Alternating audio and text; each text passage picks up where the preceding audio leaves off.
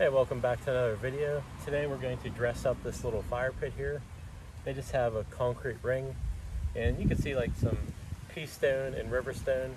I actually did all this and this is just laying in the yard so I put it here.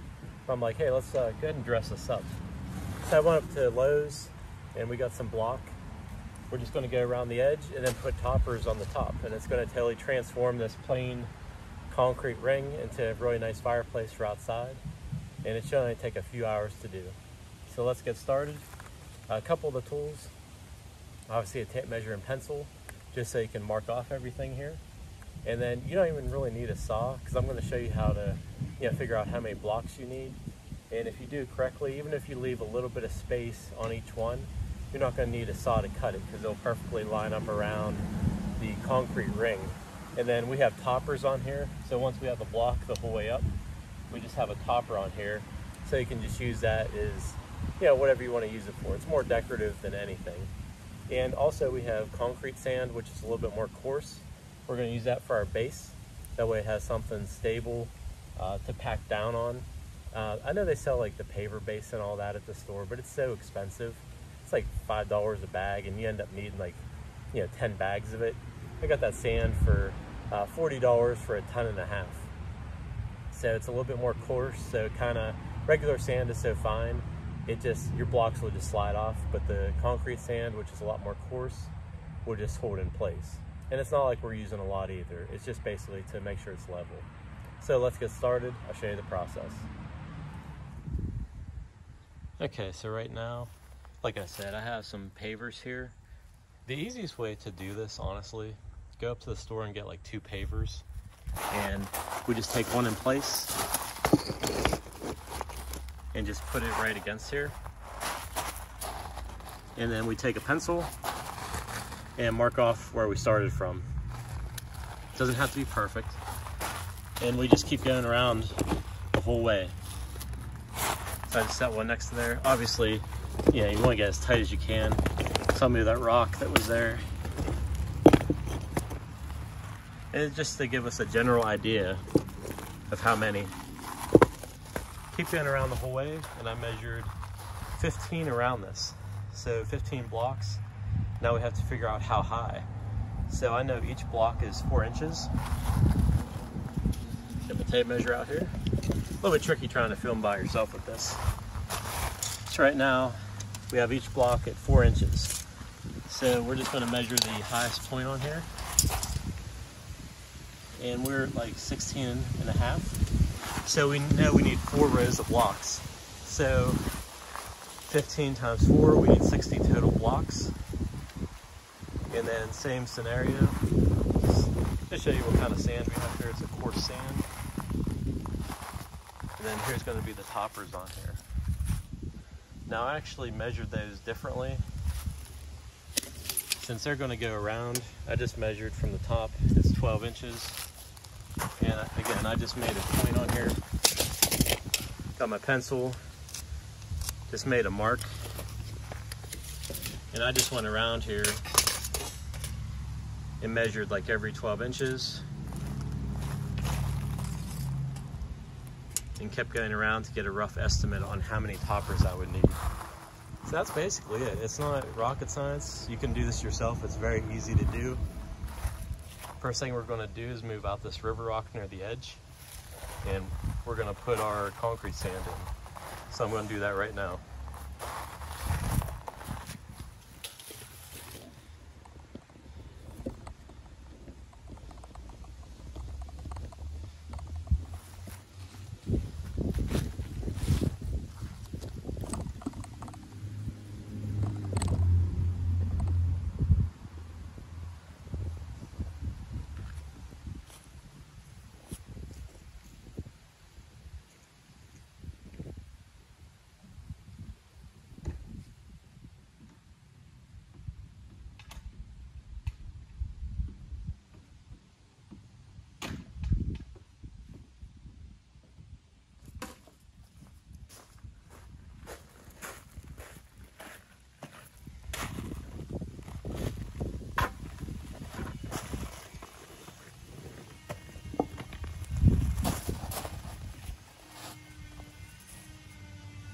Easiest way to do this, just grab a bucket and start filling it with rock.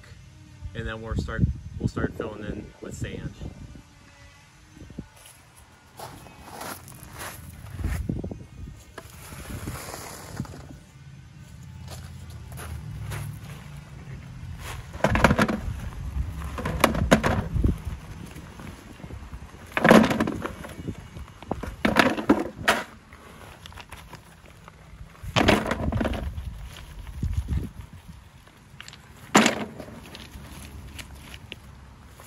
Doesn't have to be perfect. You're just trying to get all the big rocks out of here.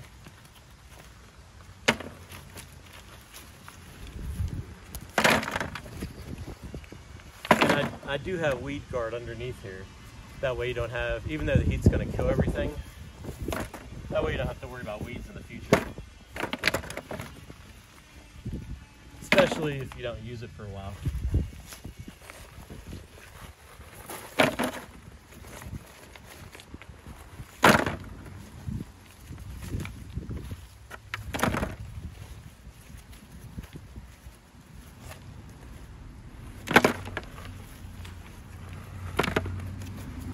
Just going to continue around here. I don't want to bore you with this part of the video.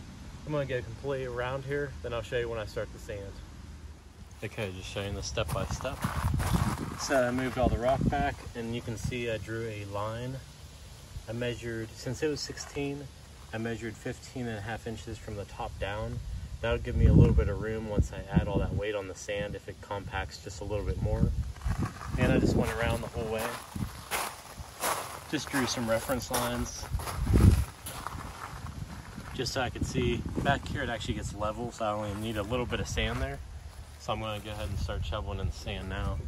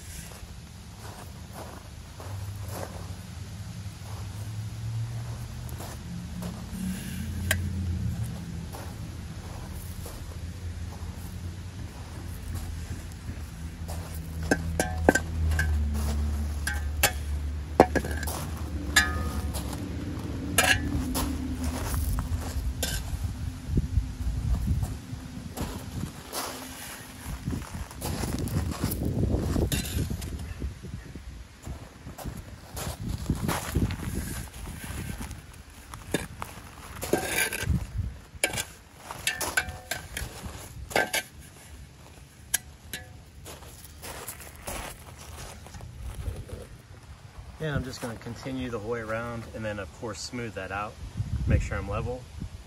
I'm gonna go the whole way around and then we'll start setting some blocks here.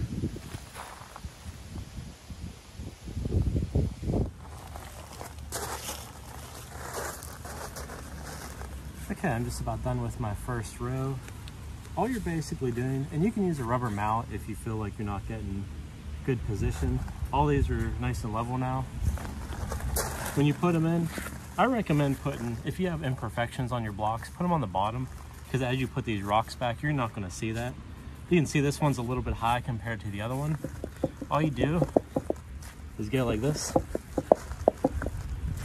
until it's level with the other one. So you just had to move that a few times and then you're good. Now, one other thing, I try to make them go inwards since I have something supporting it. If they were outwards, eventually the ground could settle and they fall back. So if you have just a very slight tilt, it'll uh, just rest against that then. One other thing I didn't mention, a lot of times I'll drill holes if I'm using this against concrete. It allows oxygen and airflow so you have a good burning fire. So let me go, go ahead and finish this row right here and then we're gonna start on our second course. Everything's nice and level and you can also, when you're done, just measure from the top block up to here just to make sure you're perfect the whole way around. But if you measured and followed your line in the first course, you should be fine already. But never hurts to double check yourself. All right, first course is all done.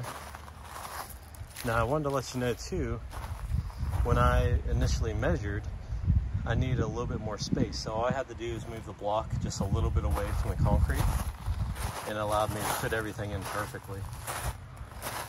So if you just pull the brick away from the wall just a little bit, then you don't have to make any cuts. And it's still gonna be just as structurally strong. So on to the next rows, and I'll show you once I get to the top.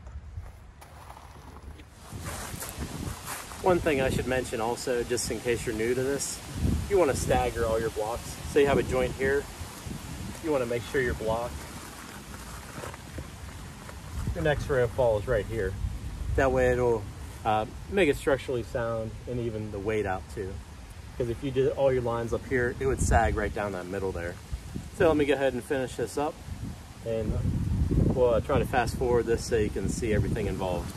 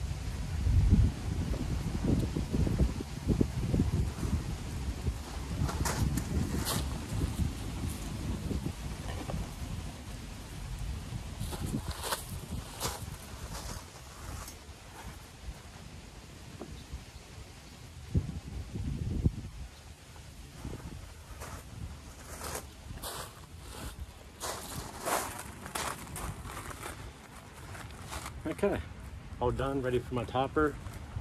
Only problem is I'm one block short. So again, it's always good to have extra block. Um, just need one more.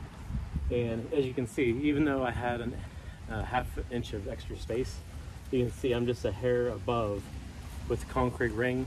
But when I put these toppers on, it's not, not even gonna matter. So let's go ahead and uh, I'll put a few of those on so you can see how it's gonna look.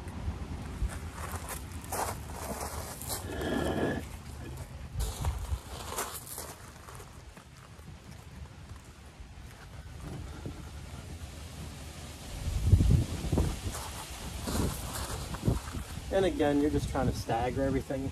That way none of the lines line up. The weight will be evenly distributed. So right there is the middle. I just spaced it in between.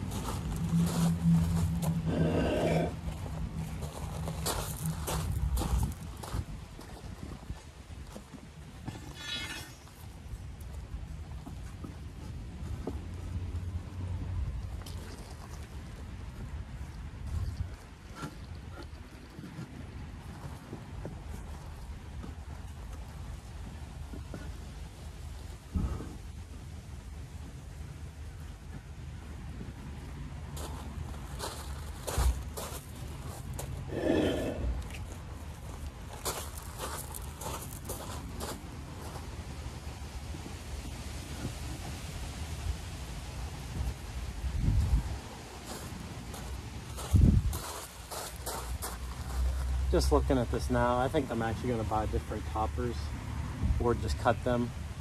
Uh, there's too big of a gap in between here. I'll show you real quick.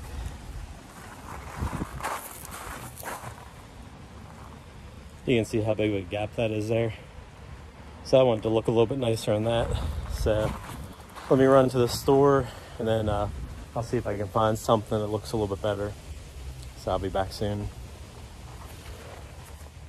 All right, so I decided on keeping the block. I was originally going to either cut it or just try to find another one, but once I put it on top, it actually looked kind of cool like that. So I'm gonna leave it as is.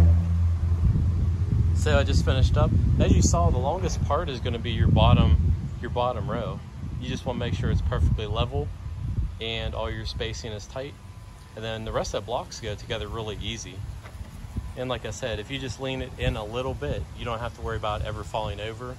And if you're concerned about like these top blocks here, like these here, they're pretty heavy, but you can always get some like, uh, they make a liquid nails. I think it's called like Fuse It for outdoors.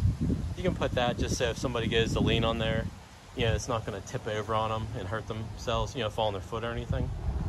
But yeah, I just staggered that and it turned out good. So we're in the fall season here right now. It's it was like 50 degrees, maybe 45 last night. So a perfect time for a fire in the outdoors. Hey, just want to say thanks again for watching one of my videos. Please hit subscribe if you haven't done so and hit the bell notification. You're going to see all kinds of videos like this coming out. You got your DIY projects like this. Seriously, it took me about an hour and a half. Um, I've done these before, and maybe if you're unfamiliar, it might take you two hours. But you could have a beautiful fire pit in the backyard like this, and you don't even have to have that concrete ring. You could just do it in block, uh, same layout, and then I just finished it off with that river stone or pea stone. You know, whatever you ch uh, choose, it's your choice. So lots of videos coming soon, tools, houses, little projects like this, and uh, lots more to come. About to go start another one right now. Have a great weekend.